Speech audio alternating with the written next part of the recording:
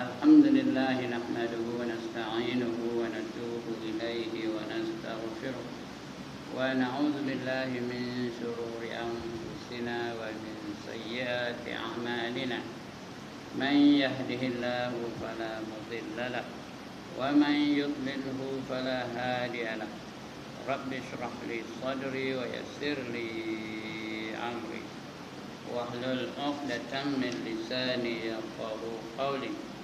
سبحانك لا علم لنا إلا ما علمتنا إنك أنت العليم الحكيم ولا حول ولا قوة إلا بالله العلي العظيم أما بعد yang dimuliakan Tuan Pengerusi serta adik-adik Jawatan Kuasa Masjid yang berbahagia Tuan-Tuan Imam, Tuan-Tuan Bilal, Tuan-Tuan Guru, para-para ustaz-ustaz, seterusnya Tuan-Tuan Alim Ulama di tempat masing-masing, pemimpin-pemimpin, Seterusnya tuan-tuan hadirin yang dirahmati Allah sekalian.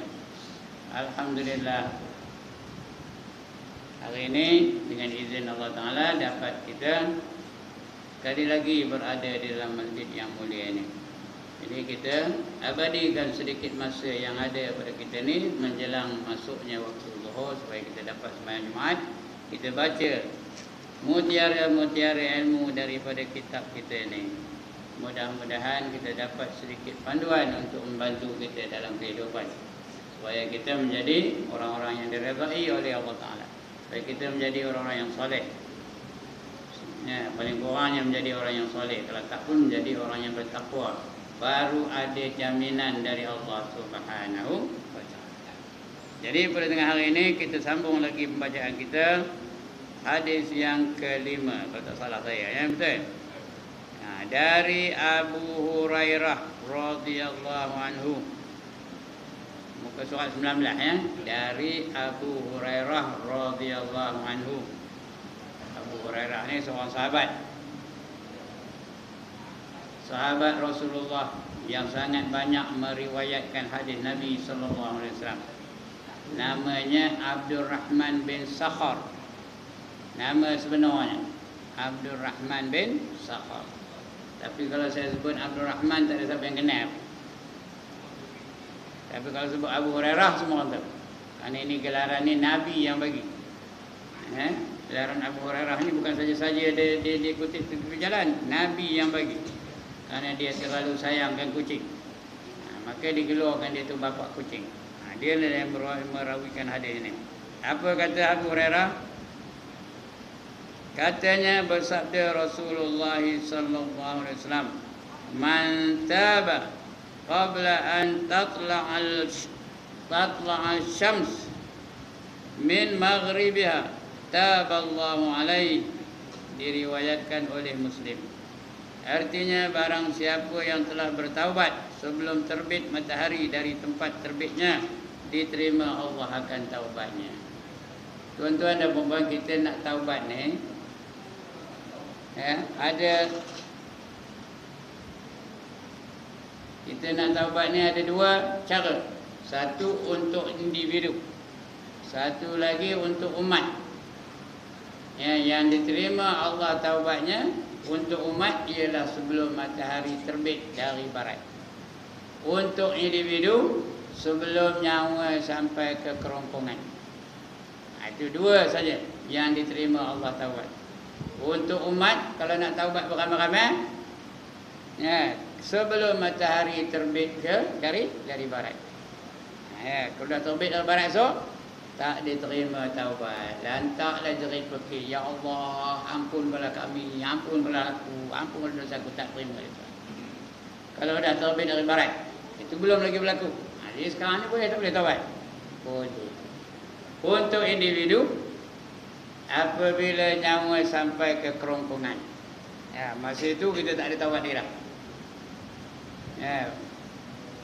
Nak taubat sebelum nyawa sampai ke kerongkong. Sebelum nak padam.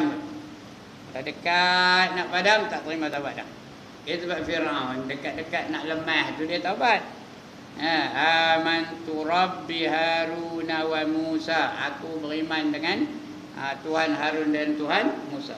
Tapi tak terima oleh Allah taubatnya kerana sudah dekat penuh anak putus nyawa. Baru dia taubat. Ha, kita pun waktu itu juga.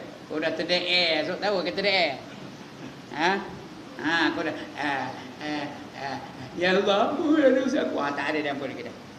Jadi nak taubat bila? sekarang al-an at this moment now eh? sebelum nyawa sampai ke kongkong ha, tengah jauh lagi nyawa kita ni tak ada sampai kongkong lagi ada ke ha, kalau dia tak datang masjid pun eh? ha, jadi nak taubat hanya ketika nyawa kita tengah ha, tengah segar dalam badan ni ya ha, itu sebab Nabi pun taubat 70 kali sehari semalam Baik. Artinya barang siapa yang telah taubat sebelum terbit matahari dari tempat terbitnya. Tempat terbit matahari di mana? Timur. Matahari terbit di timur. Ya. Jadi kalau matahari esok terbit dari barat, ha, tempat dia jatuhnya, tempat dia hurufnya, ha, maka tak diterima taubat lagi ya. Ha, sebelum terbit matahari dari tempat terbenamnya. Tempat terbenam matahari di mana sana? Nanti matahari itu terbit dari sana esok tak diterima taubat. Semua tak terima. Taubat tu imam tak terimanya, taubat tu bilal tak terimanya, taubat tu guru tak terimanya. Lagi? Taubat apa lagi? Taubat tu siang tak terimanya. Ha, taubat pengurusi masjid tak terimanya. Ha, taubat siapa pun tak diterima oleh Allah kalau matahari terbit dari sana. Tahu ke sana? Ha, jadi pagi-pagi esok tengok. Ada tak matahari dari sana? Kalau dah ada dari sana, ha, tak adalah terima tawat dia kata. Ha. Ya, ketika dia tiup sangkakala, tapi tiup sangkakala dulu, ya. Ha, bila dah tiup sangkakala, masa itu ditutup pintu taubat. Ya. Sekarang ni belum lagi. Tapi Israfil tu tengah apa? Tengah ready je tu. Dah ada je. Nunggu, nunggu isyarat kata Allah je. Bila Allah kata tiup, dia pun tiup. Ya. Tak dengar ke? Tak dengar. Peng peng peng peng peng peng. Ada dengar tak? Peng peng peng peng peng. Peng peng peng peng peng peng. Eh? Ha, siapa ni punya? Dalam dunia ni punya? Siapa ni punya tu? Ya Allah, dia tak pernah tengok ke? Saya seorang lagi tengok. Siapa namanya? Kasim Selamat. Ha ya, bila ditiup itu habis pintu taubat tak terima lagi dah. Berlakulah gempa yang sangat kuat, goncangan yang sangat kuat al-qari'ah. Mal qari'ah wa ma adraka mal qari'ah. Goncangan, gegaran. Tahukah kamu apa yang dikatakan gegaran? Yauma yakunun nasu kal farashil mabsus kata Allah di hari itu manusia-manusia diterbangkan seperti kalkatu yang ringan. Ha, masa itu siapa nak jadi Superman? Siapa nak jadi super lady? Ha, tunggu hari kiamat itu. Ha, bukan terbang, diterbangkan. Macam kalkatu.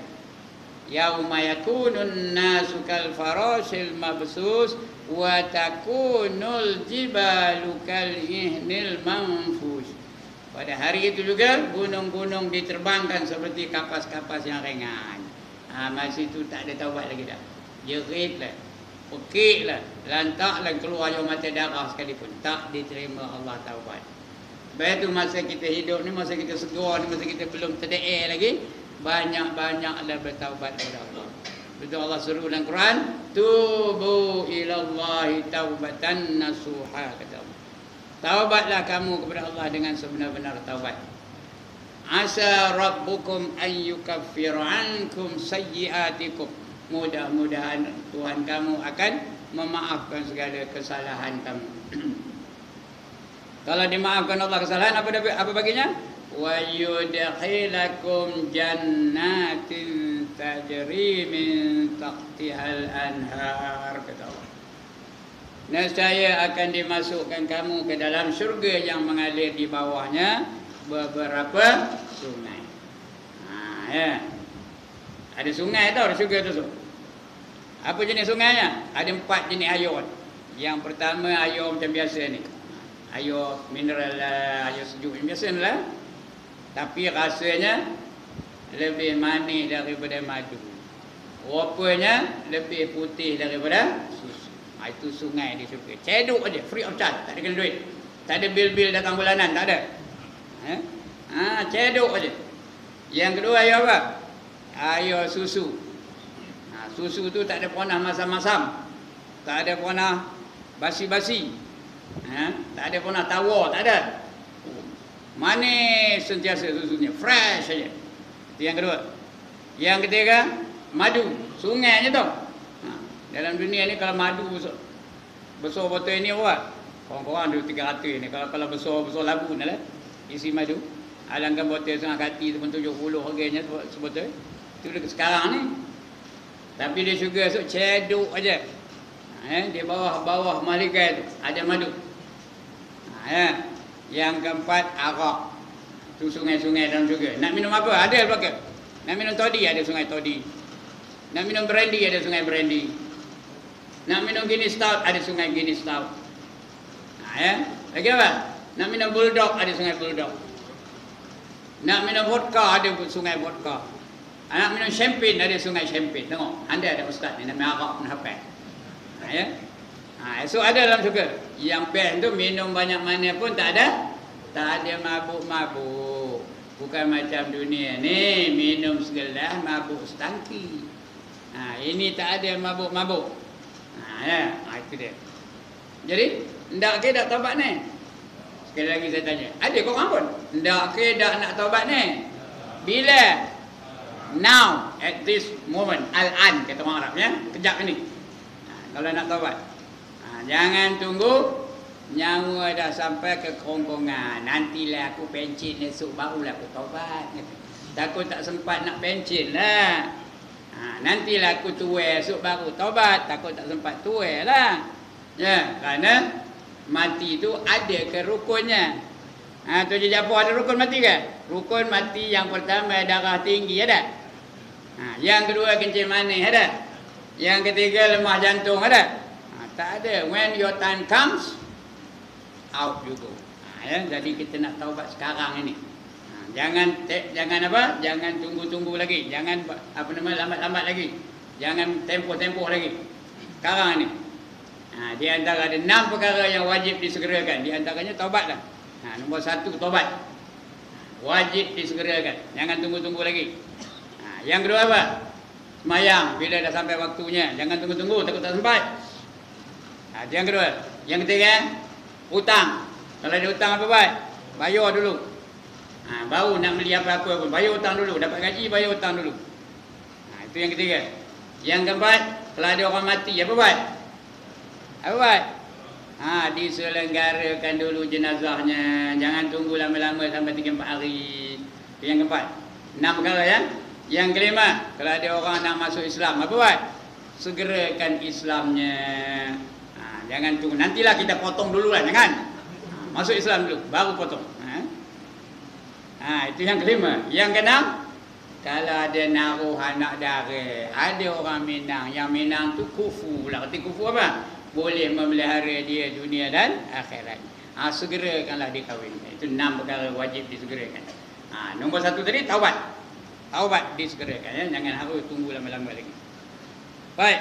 Ha, itu dia punya keterangan. Ha, itu mana tadi ya? Barang siapa yang telah bertaubat sebelum terbit matahari dari tempat terbenamnya diterima Allah taubatnya. Garanti diterima oleh Allah Taala. Ya at-taibu minaz zambi kamal la zambalah kata Nabi. Ya orang yang bertaubat dari dosanya seperti orang yang tak ber ya maksudnya dua hadis di atas menunjukkan bahawa pintu taubat masih terbuka Ha, dua hadis hadis yang kita baca tadi dan juga kita baca bulan sudah. Ha, bulan sudah apa apa kita baca ada? Sesungguhnya Allah Taala menghamparkan tangannya ketika malam supaya bertaubat orang yang jahat di waktu siang dan menghamparkan tangannya di waktu siang supaya bertaubat orang yang jahat pada waktu malam sehingga terbit matahari dari tempat terbenamnya. Itu bulan sudah dah kita baca. Ha, soal tuan-tuan lupa bukan salah saya, saya sudah baca ni. Ha, eh? Kalau tak ingat bukan salah saya. Ha, jadi itu yang pertama hadis itu. Yang kedua yang kita baca kejap ni. Barang siapa yang telah bertaubat sebelum ter, ter, apa, terbit matahari dari tempat terbenamnya. Ha, artinya matahari terbit dari tempat terbenamnya. Dia terbenam di barat. Maka terbitnya esok di barat. Dia taubat sebelum itu. Maka diterima oleh Allah Ta'ala. Bila diterima Allah taubatnya, dosa-dosa yang kita buat dulu bertukar menjadi pahala. Ha, itu dia fadilat bertaubat ni ya. Kerana Allah berkenan benar, kasih benar, sayang benar dengan orang-orang yang bertaubat. Inna Allah yuhibbut tawabin wa yuhibbul mutatamirin.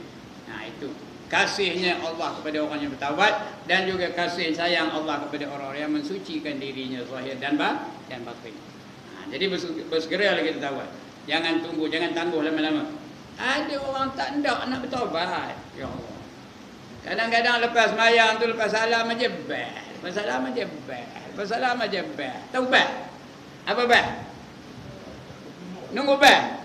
Kumbah. Bel tu kumbah tu. Ha, lepas salam kumbah. Lepas salam kumbah. Getik benar kena minta ampun dengan Allah Taala. Getik benar kena nyebut astagfirullahalazim. La ilaha illa huwal hayyul qayyum wa atubu ilaih getik benar ke ha, yang kumbah tu ngapa? Apa benda dikejar? Lebih-lebih lagi orang pencin nak ngejar apa lagi? Ha, eh?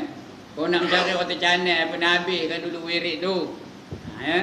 kalau kita baca hidayah tu salikin dah terbaca dah tamat pun kitab tu sini tu. Ha, eh? dia ada wiridnya lepas subuh tu 10 ayat wirid 10 ayat tu ha, kong-kong sejam pun habis tu Ya, ada 10 ayat tu. La ilaha illallah wahdahu la syarika lah. Lahul mulku lahul hamdu yuhyi wa yumiitu hayyul la yamut bi yadihil qaid wa huwa ala kulli syai'in qadir. Baca 10 kali atau 70 kali atau 100 kali. 100 kali itu tak lalu lah. Ha, paling pamanya 10 kali. Lepas tu la ilaha illallahul malikul haqqul mubin 10 kali juga. Betul la ilaha illallah wahidul qahhar rabbus samawati wal ardi wa ma bainahuma al-azizul ghaffar 10 kali lagi. Ha, ya. Cukupkan satu kali. Ha, barulah dia dapat ha, dapat pahala wirid daripada Allah Subhanahu wa taala. Baik, dua hadis yang di atas menunjukkan bahawa pintu taubat masih terbuka. Allah Taala sentiasa menerima taubatnya selagi perjalanan matahari belum terbalik. Sudah terbalik esok, no more respite for you. Tahu ke respite? Tak ada kesian untuk kamu. Taubatlah, jeritlah, pekiklah, Ayo yo, terimalah taubat kami. Ah tak ada. Ha. Ya Allah, terimalah taubat kami. No way. Ha, apabila nyawa dah sampai ke kerongkongan, apabila matahari telah terbit dari dari barat. Ngapa panjang mana barat tu? Udah lah tu, marah jam kan dia dah bunyi. Okey, sekian dulu tuan-tuan. Banyak lagi cerita taubat ni, insya-Allah akan datang kita baca lagi hadis yang ke-6 pula ya. Ha. Sekian aku qawli hadza wa astaghfirullah al-azim li wa lakum wa li sairil muslimin wal muslimat wa ya fawzal mustaghfirin wa ya najat taibin Assalamualaikum warahmatullahi wabarakatuh